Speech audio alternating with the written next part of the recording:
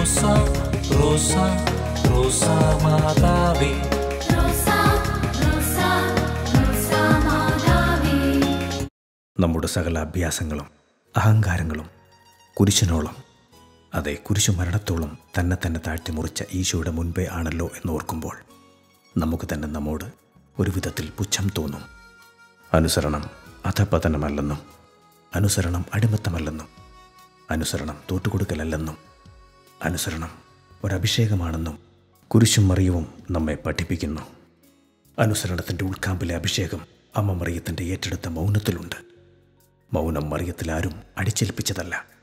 അവൾക്ക് മിണ്ടാമായിരുന്ന സമയത്തും പ്രതികരിക്കാമായിരുന്ന സമയത്തും പ്രതിഷേധം കാണിക്കാമായിരുന്ന സമയത്തും അവൾ അനുസരിച്ചു വന്നു വച്ചാൽ അവൾ ദൈവത്തെ അറിഞ്ഞെന്ന് തന്നെ അർത്ഥം.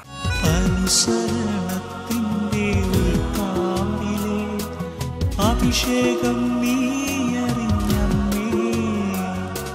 മറിയം വെറുതെ അനുസരിച്ചുവെന്ന് മാത്രമല്ല സ്നേഹത്തോടെ അനുസരിച്ചുവെന്നുള്ളതാണ് സ്നേഹത്തോടെയുള്ള അനുസരണത്തിൽ എല്ലാം പൂർണമായി.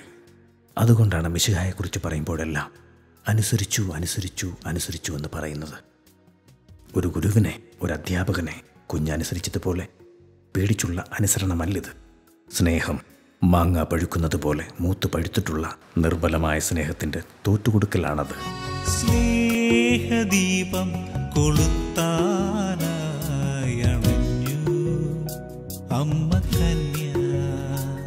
അങ്ങനെ പരിശുദ്ധ അമ്മ നമ്മുടെ മുമ്പിൽ സ്നേഹവും അനുസരണവും തമ്മിൽ കൈകോർക്കാൻ പഠിപ്പിക്കുന്ന അത്ഭുത വ്യക്തിയാണ്.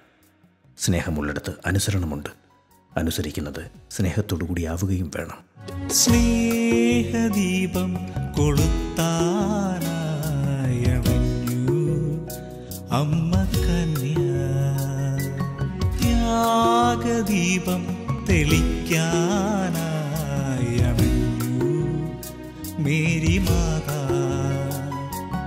അനുസരണത്തിന്റെ ഉൾക്കാമ്പിലെ അഭിഷേകം നീ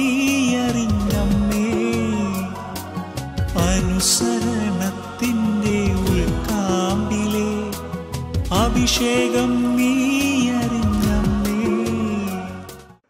അമ്മേ നീതിമുഖം നോക്കിയ കണ്ണാടിയാണു നീ. മാറിയോസ് പിതാവിന്റെ അസ്തിത്വം നീതിയായി പൂത്തുലയുന്നത് നിന്നിൽ കണ്ണാടി നോക്കി നിന്നതുകൊണ്ടും ആണ്. നീ നിർമ്മലദന്തം കൊണ്ടുള്ള കോട്ടയാണ്.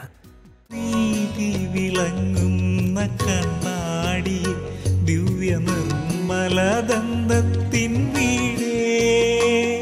ഉത്തമഗീതത്തിൽ പറയുന്നത് പോലെ കുടിക്കൂറുകളേന്തി യുദ്ധസജ്ജമായ ഒരു സൈന്യനിര പോലെ നിശക്തയാണ് പക്ഷേ അവിടെയും ശക്തിയും യുദ്ധവീര്യവും സ്ലീവായുടെ കുടിക്കുരിശിന്റെ കീഴിൽ ഒളിപ്പിക്കാൻ നിനക്ക് കഴിഞ്ഞു. ഒരാനയെ പോലെ കുത്തിമറിക്കാൻ സാധ്യതയുള്ളിടത്തും നീ മറഞ്ഞു നിന്നു. അതുകൊണ്ട് തന്നെ മനുഷ്യർ വാക്കുകൊണ്ടും പല്ലുകൊണ്ടും മുറിക്കുമ്പോൾ നിനക്ക് നിർമ്മല ദന്തങ്ങളാണുള്ളത്. ആരെയും മുറിപ്പെടുത്താത്ത നാവും ആരെയും മുറിപ്പെടുത്താത്ത പല്ലുകളും നിനക്ക് ശോഭയും പൂർണതയും നൽകുന്നു.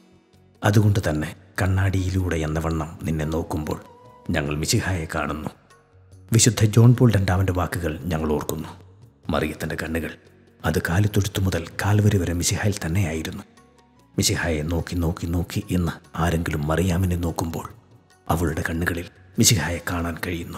കണ്ണാടിയിലെന്ന പോലമ്മേ നിൻ കർത്താവിൻ രൂപം പതിഞ്ഞു.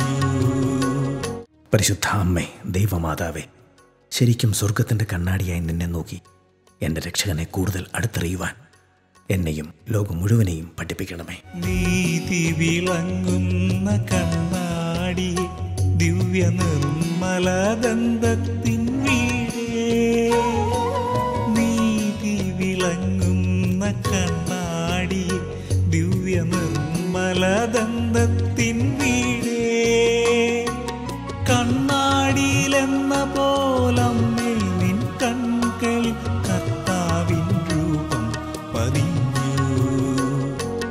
കണ്ണാടിയിലെന്ന